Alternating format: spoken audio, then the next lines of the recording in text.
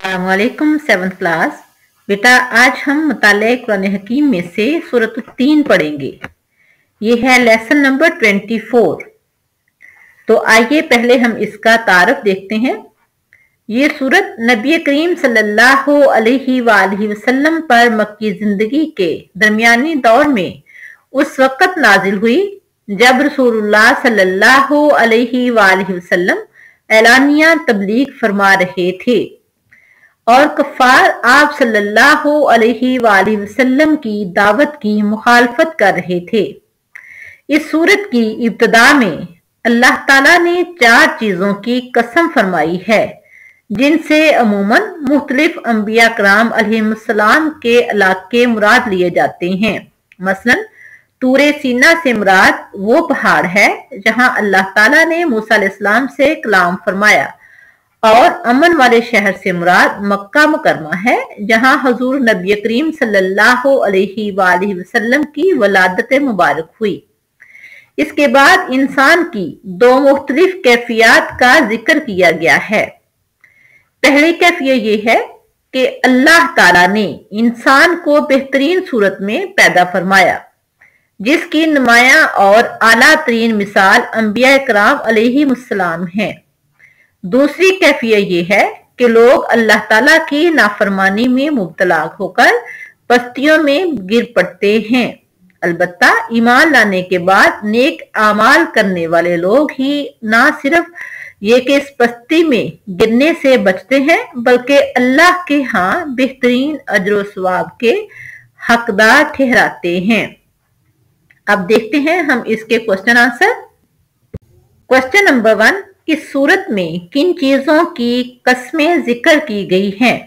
तो इसका आंसर है, इस सूरत में अल्लाह ताला ने चार चीज़ों की कसम फरमाई है।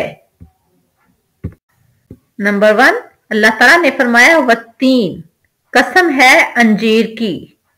नंबर टू व जैतून और जैतून की। नंबर थ्री व तूरी सीनीन, तूरे सीना की। और नंबर फोर वहाजल बलादिल अमीन, अमन वाले शहर मक्का की। यानी चार चीज़ों की अल्लाह ताला ने सूरत तीन के आगाज़ में कसम उठाई है। क्वेश्चन नंबर टू तमाम मखलूकत में इंसान का क्या खास मकाम है? तो इसका आंसर है, अल्लाह ताला ने इंसान को तमाम मखलूकत पर फजीलत अता फरमाई है, ये उसका बेहतरीन मकाम है। क्वेश्चन नंबर थ्री इस सूरत में इंसान की किन दो मुख्तलिफ़ कैफियत का ज़िक्र किया गया है? तो इसका आंसर है, इस सूरत में इंसान की मदरजा जैल दो कैफियत का ज़िक्र किया गया है। अब देखते हैं कैफियत क्या है। नंबर वन पहली कैफियत ये है कि अल्लाह ताला ने इंसान को बेहतरीन सूरत में पैदा फरमाया। जिसकी नुमाया और आला तरीन मिसाल अम्बिया कराम अलैहिस्सलाम हैं। दूसरी कैफियत ये है कि ये लोग नाफरमानी में मुबतला होकर बस्तियों में गिर पड़ते हैं। और सिर्फ़ वही लोग बचते हैं जो ईमान वाले हैं। वो बस्तियों में गिरने से बच जाते हैं और ऐसे लोगों के लिए अल्लाह के यहाँ बेहतरीन अजर स्वाब है। क्वेश्चन नंबर फोर इस सूरत के आखिर में किन दो हकीकतों का बयान है तो इसका आंसर है, इस सूरत के आखिर में दो बड़ी हकीकतों का बयान है, यानी आखिरत पर सच्चे दिल से यकीन रखना और अल्लाह ही को हकीकी हाकम मानना। इन दोनों चीज़ों पर यकीन रखना हर मुसलमान के लिए लाजिम है। क्वेश्चन नंबर फाइव बेहतरीन सूरत की हकीकी मिसाल कौन है?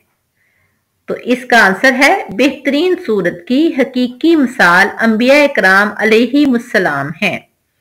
ये थी सूरत तीन नेक्स्ट चैप्टर होगा हमारा सूरतुल अलग। अल्लाह हाफिज।